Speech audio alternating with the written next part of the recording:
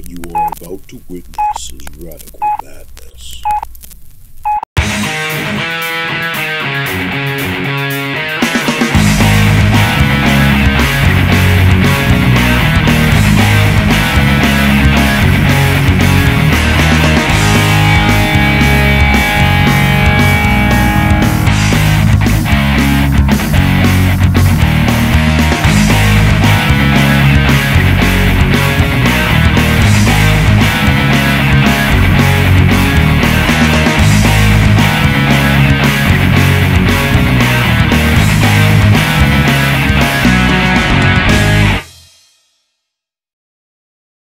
I'm a maghead.